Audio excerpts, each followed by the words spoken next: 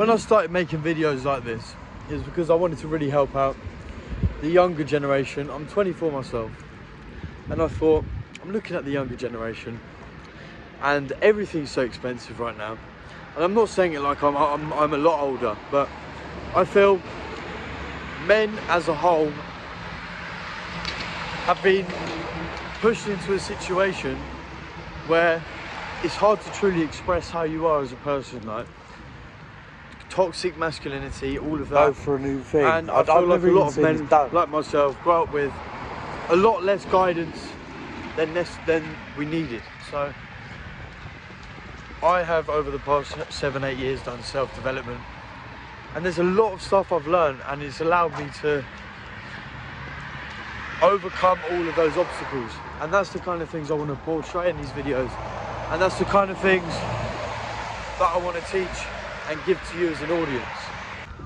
Good morning. I'm not sure which day it is. I think it might be day 74 of uh, running every single day without stopping. Today I loaded myself with some carbohydrates. I've also given myself a nice new little shave. What do you think about it, people? What do you think? Listen, yeah, don't judge too hard because I've never done a style like this, but I just thought, you know what? You know what? Picasso it. Do you know what I mean?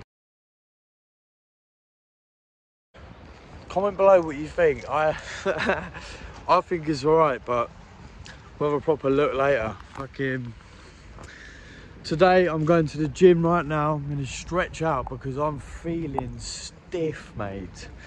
I'm gonna be doing probably like half an hour, good half an hour stretch, and then uh, kettlebell swings.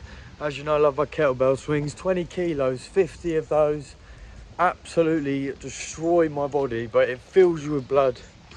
Then I'm gonna do 20 minutes of running, get that nice bit of cardio in. I'm going for speed this time. It's not about just 20 minutes, it's going for speed. So I'm gonna do the sprinting on, on a, I'm gonna sprint on a really high setting. And then when it's a bit much, I'll just hop off to the side for a minute, take a breather, and then just smash another as long as I can go. Do that for 20 minutes. And uh, after that, we're doing chest and bicep, focusing a lot on bicep today and uh, tricep. But I'm gonna add in some deadlifts today as well because I really need to start building up that sort of lower back strength now because as my figure's getting bigger, good rhymes, they call me Mr. Bars Man. Um, my lower back just aches. I've got a lot of stuff going on at the moment with work and whatnot like that. But um, yeah, looking forward to uh, keeping on going, keeping on going, keeping on going. How's everyone's day going? Um, is anyone here on TikTok? I used to be on TikTok. Some of you might even recognise me from TikTok, but uh, I've taken a long break from TikTok, and I'm thinking maybe I might just start going back on there. Now, it doesn't align too well with the business I'm doing in terms of it doesn't align too well with the business I'm doing at the moment just because it's not really relevant. But I think going on TikTok, doing live streams, certain live streams with different things for my business. I'm already doing Facebook ads, Reddit ads. Um, it's about I get about hundred pounds per every thirty pounds that is spent in uh, one of my businesses I'm using online marketing for paid advertising. But going back on TikTok, doing live streams, doing things that are going to go viral, get the viewers up, will help me build the brand. But also, I'll then have another funnel coming into um, my my digital products that I'm selling.